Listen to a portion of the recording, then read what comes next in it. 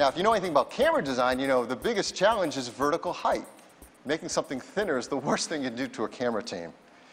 So we asked them to go ahead and try to create a camera to fit in the new thin thinner, lighter iPhone 5 and deliver the kind of performance we had of the, with the iPhone 4S camera that is heralded as perhaps the best camera in the entire market.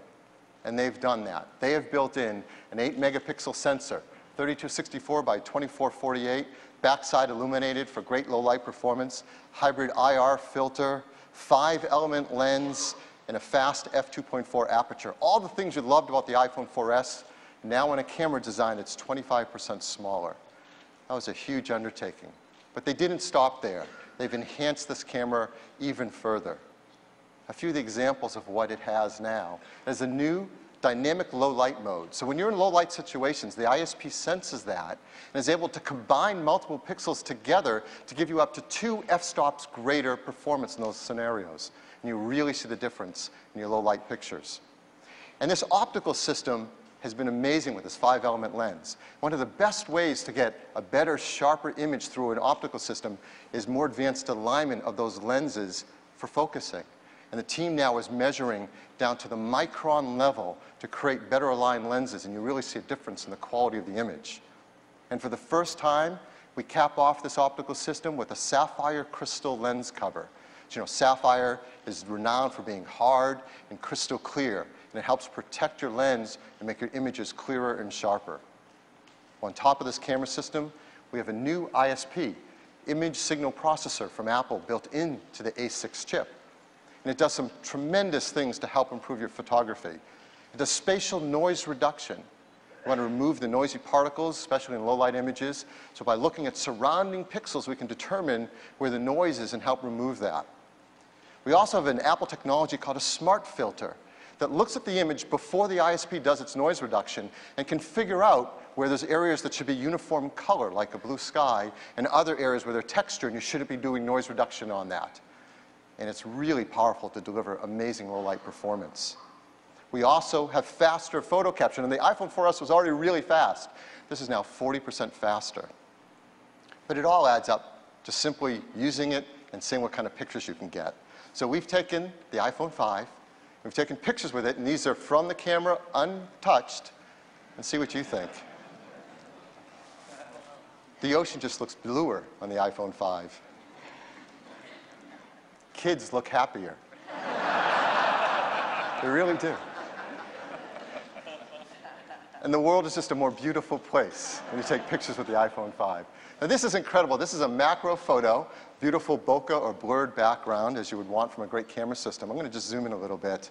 Look at that bee. You can see the veins on the wings of the bee. I don't know if you've ever tried to do that in a photo. It's not easy. This camera is tremendous.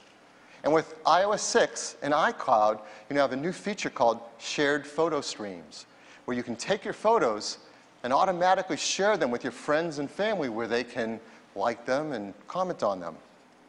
But perhaps the most amazing feature of the new camera in iPhone 5 is called Panorama.